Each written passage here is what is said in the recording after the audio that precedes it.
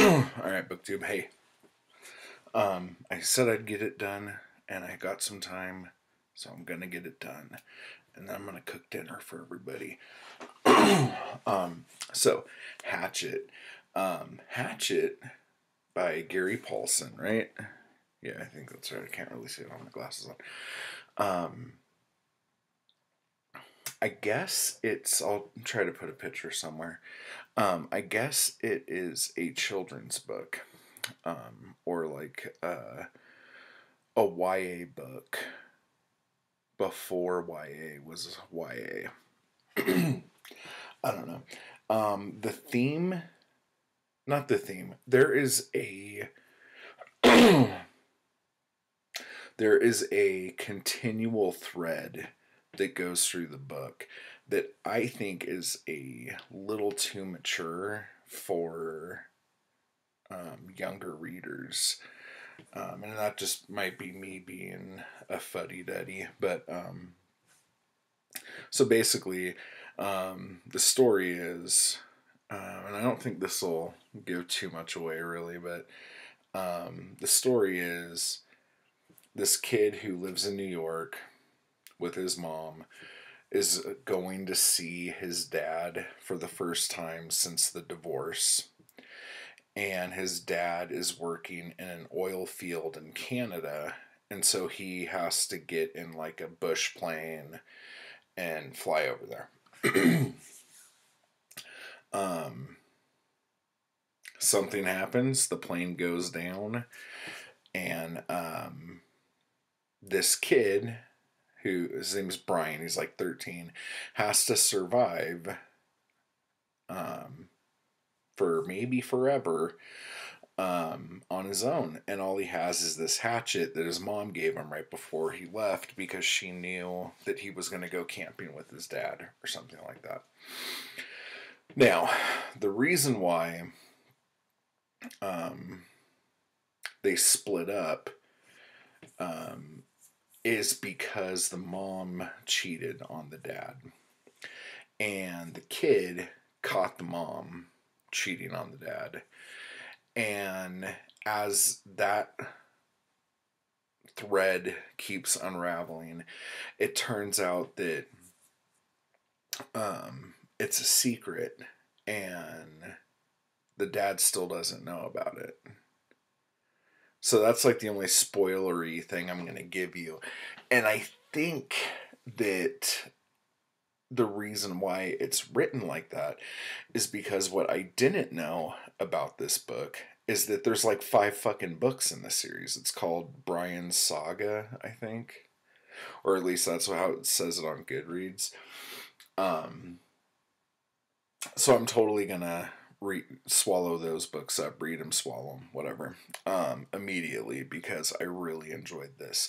Now, um, did I enjoy this because it was about um, a little kid from a broken family doing some shit in the woods?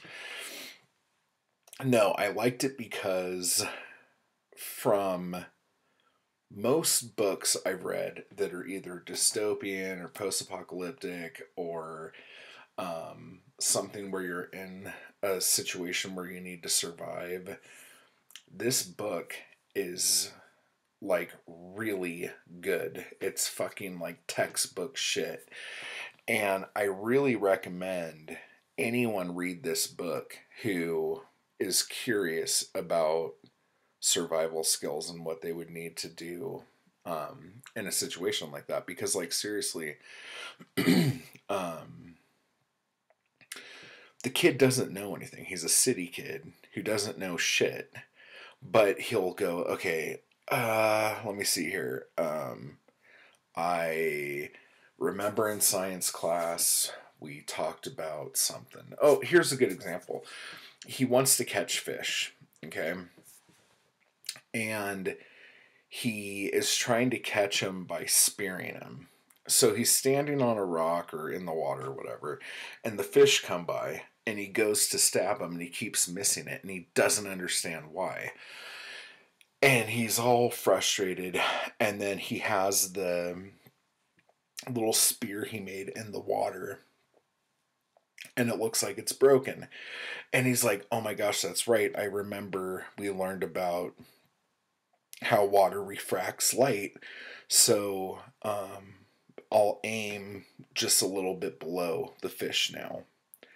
And so he aims below the fish and he catches the fish. So like little things like that, like how um like the thought process of how someone would go through something to survive that one situation. It's written really well in that respect.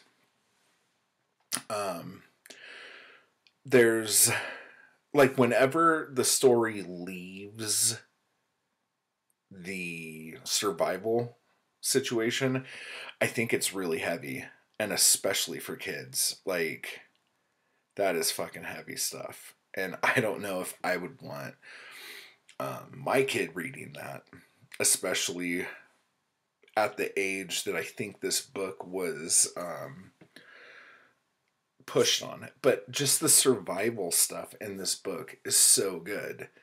Um, and you really feel for Brian and you root for him and you hope he could figure something out and when he does you're so proud of him and it's just like that aspect of the book is really really good and i'm hoping i'm hoping hoping hoping that the rest of the books in this series i mean this book is so short like you could read it in like i don't know like an hour or in an afternoon or something like that.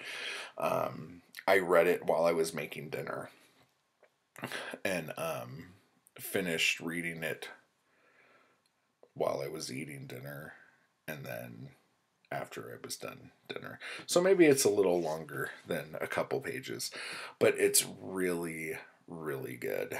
Um, I really enjoyed it. Uh, it's not groundbreaking literature by any means. It's a great just adventure survival story. And every time it's paced very pulpy in the sense that every time like something's about to happen, something else happens. So like there's this situation where Brian is about to um, pick a bunch of berries. He finds these berries and he eats one and he's like, oh my gosh, this is amazing. And then he goes to pick another one and then he notices that there's a giant bear like an arm's length from him who also wants to eat the berries off that bush. So it's like you're cheering that he just found stuff he could eat, but then you're terrified because there's a bear right next to him. And shit like that happens the entire story. Um, it's just it's paced really well. Um, but yeah, the reason why I even found this book is because I've been watching um, Fowler's Makery and Mischief. Um, I would maybe put something somewhere, but I probably won't. So just maybe I will. Okay. Um, he um, does a lot of like just fun, like building, crafting, homestead, bushcraft um, type videos. He's great. Um, he was on Alone season three um, on the History Channel, if you know about that. And um, he's just finishing up a 30 day survival challenge in Texas with um, Chris from Drop Forged Survival.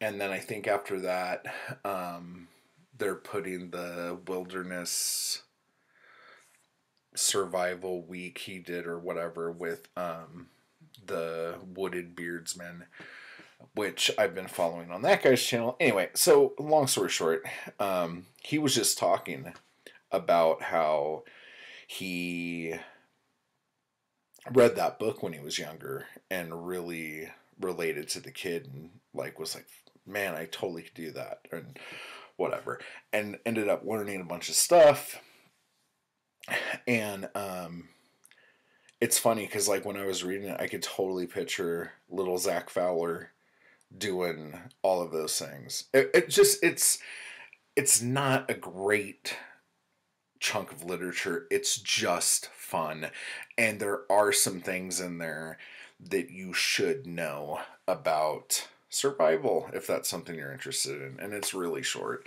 Um, i think zoe found um, paperback copies of it on amazon for like three bucks.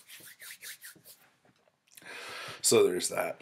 Um, but yeah so if you have read it um, let me know down below. If you've read the books that follow please let me know how those are because i really really really want to um, check those out and I have to do it soon because something's going to happen soon.